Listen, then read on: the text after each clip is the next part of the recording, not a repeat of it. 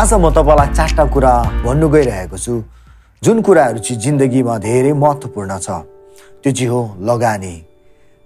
अनि यसमा एउटा सेङ छ preparation time is never wasted time यसको मतलब चाहिँ जति तपाईँले आफूलाई तयारी गर्नुको निम्ति समय खर्च गर्नुहुन्छ लगानी गर्नुहुन्छ फालेको समय होइन तर त्यसले चाहिँ तपाईँलाई भविष्यमा ठुलो फल फलाएर देखाउँछ।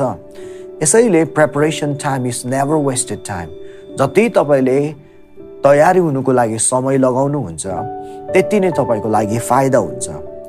तपाईँले दायाँ बायाँतिर हेर्नुहोस्।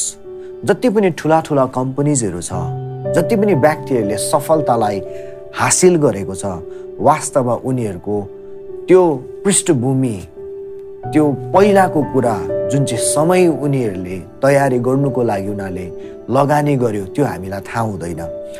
कति जरा गाड्यो उनीहरूले त्यो हामीलाई थाहा हुँदैन। फल मात्र हामीलाई थाहा हुन्छ। तर कुनै कम्पनी सफलतामा आउनुभन्दा अगाडि उनीहरूले धेरै साल तयारीमा लगाएको हुन्छ। यसैले धेरै कुरा छ। गर्नु त मन लाग्छ त्यो गर्नु मन लाग्छ त्यो गर्नु मन लाग्छ त्यो खानु मन लाग्छ त्यो खानु मन लाग्छ। तर तपाईँको पर्पज छ। अनि तपाईँको जुन चाहिँ प्यासन छ तपाईँको जुन चाहिँ गिफ्ट छ अनि त्यो अनुसार मात्र तपाईँले आफूलाई जब तयार गर्नुहुन्छ भने समयलाई लगानी गरेर अनि धेरै समयलाई सदुपयोग गरेर तपाईँको जिन्दगीमा धेरै फल लाग्छ। एक नम्बर सुन्नुहोस् spend time investing in yourself first according to your passion and gift धेरैभन्दा धेरै ठुलो लगानी चाहिँ नि सबैभन्दा अगाडि चाहिँ तपाईँले आफू मात्रै गर्नुपर्छ।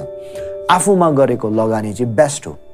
किनभने हामीमै शान्ति छैन भने अरूलाई हामी शान्ति दिन सक्दैनौँ। हामी भित्रै सफलता छैन भने बाहिर सफलता निक्लिनु सक्दैन।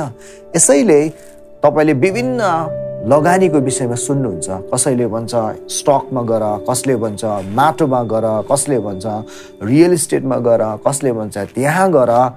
ओर व्यापारमा गर तर सबैभन्दा पहिला चाहिँ तपाईँले आफूमा लगानी गर्नुपर्छ।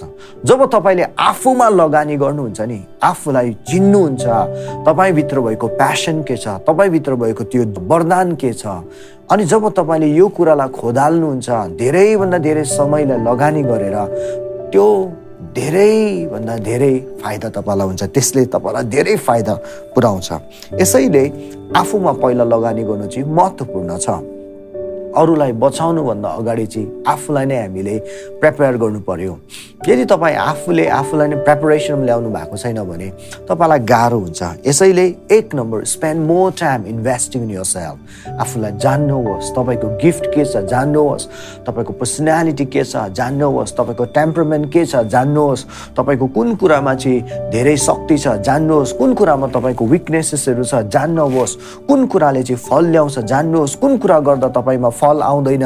त्यो कुरा जान्नुहोस् तपाईँको लामो लङ टर्म भिजन के छ जान्नुहोस्। जब तपाईँले आफूमा लगानी गर्नुहुन्छ नि त्यसको ठुलो परिणाम तपाईँले पाउनुहुन्छ। दुई नम्बर मलाई धेरै मनपर्छ। दुई नम्बर चाहिँ रिड बुक्स तपाईँले सुन्नु भएको होला कि लिडर्स आर रिडर्स जतिजनाहरू लिडर्सहरू छ नि उनीहरू प्राय जसोले किताब पढेको पढेकै गर्छ पढेको पढेकै गर्छ।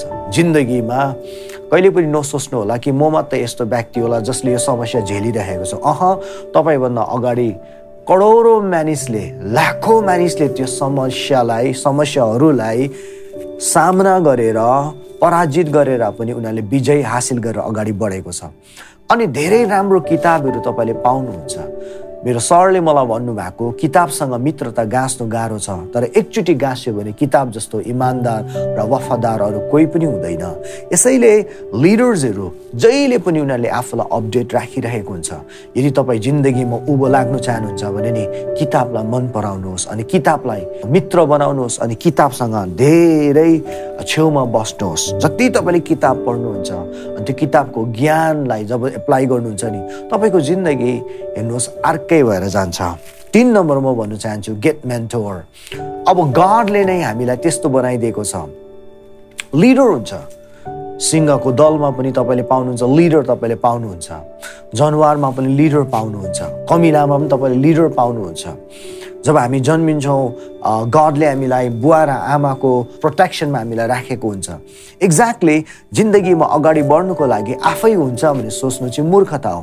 तर तपाईँको प्यासन अनुसार तपाईँमा जुन चाहिँ गिफ्ट छ त्यो अनुसार जब तपाईँले मेन्टर खोज्नुहुन्छ मेन्टर कसरी खोज्नु? जसले चाहिँ जिन्दगीमा धेरै हार खाएर विजय पाएको छ जसले चाहिँ जिन्दगीमा धेरै अनुभव बटलेको छ जसको जीवनले नै फल धेरै फलेको देखाउँछ त्यस्तो व्यक्तिलाई मेन्टोर बनाएर उनीहरूको सल्लाहमा हिँड्नुहुन्छ नि।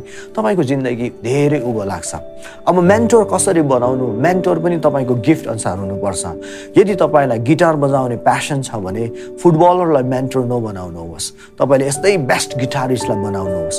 यदि तपाईँको व्यापार गर्ने प्यासन छ भने सुन्नुहोस् एउटा गायकलाई मेन्टोर नबनाउनुहोस् तर बेस्ट मार्केटिङ गर्ने ओर व्यापार गर्ने व्यक्तिलाई मेन्टोर बनाउनु जसको नैतिकता राम्रो छ जसको सफलता छ बिजनेस वर्ल्डमा जब यसरी तपाईँले बनाउनुहुन्छ नि तपाईँको लाइफ धेरै माथि जान्छ।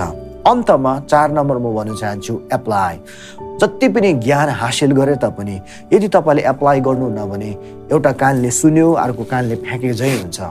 सानोमा हामीले धेरै कुरा पढ्यो अब गणित गर्दाखेरि तर अहिले प्लस माइनस इन्टु डिभाइड मात्र हामीलाई थाहा हुन्छ।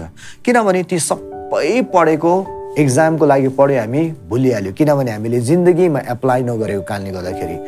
तपाईँको जीवनमा जति पनि ज्ञान हासिल गरे तापनि मेन्टोरले तपाईँलाई यो त्यो भने तापनि किताबबाट तपाईँले यो पाए पनि त्यो पाए तापनि तपाईँलाई एकछिन खुसी लाग्छ। तर यदि त्यो कुरालाई तपाईँले एप्लाई गर्नुहुन्न भने तपाईँले प्र्याक्टिकली दैनिक जीवनमा प्रयोग गर्नुहुन्न भने तपाईँको जीवनमा फाइदा हुँदैन। यसैले एप्लाई गरिहाल्नुपर्छ। एप्लाई जब गरेर हिँड्नुहुन्छ नि तपाईँको लाइफ धेरै माथि जान्छ। इन्फर्मेसनको कमी छैन। फेसबुकद्वारा ट्विटरद्वारा इन्स्टाग्रामद्वारा युट्युबद्वारा गुगलद्वारा सोसियल मिडियाजहरूद्वारा कति हामी ज्ञानलाई हासिल गर्छौँ। धेरैभन्दा धेरैको जीवनमा फरक किन नआएको? कारण यही हो कि त्यो ज्ञानलाई हामीले प्रयोग गर्नुपर्छ। हामीले एप्लाई गर्नुपर्छ। लेख्नुहोस् जर्नलमा अनि आफूलाई तपाईँले निर्णय लिनुहोस्। आफूमा तपाईँले यस्तो दृढ निर्णय लिनुहोस् डिटर्मिनेसन गर्नुहोस् निर्णय लिएर अन्त त्यो कुरालाई एप्लाई गर्नुहोस्। हेर्नुहोस् तपाईँको जीवनमा धेरै फरक तपाईँले भेटाउनुहुन्छ। अर्को भिडियोमा हामी भेट्नेछौँ। हाम्रो भिडियोलाई मन पराइदिनु भएकोमा धन्यवाद। यदि यो भिडियोले तपाईँलाई लाभ दिएको छ भने धेरैभन्दा धेरै व्यक्तिलाई सेयर गरिदिनु होला। अफकोर्स तपाईँले सब्सक्राइब गर्नुहोस् र नोटिफिकेसन बेलमा दबाउनु होला। Thank you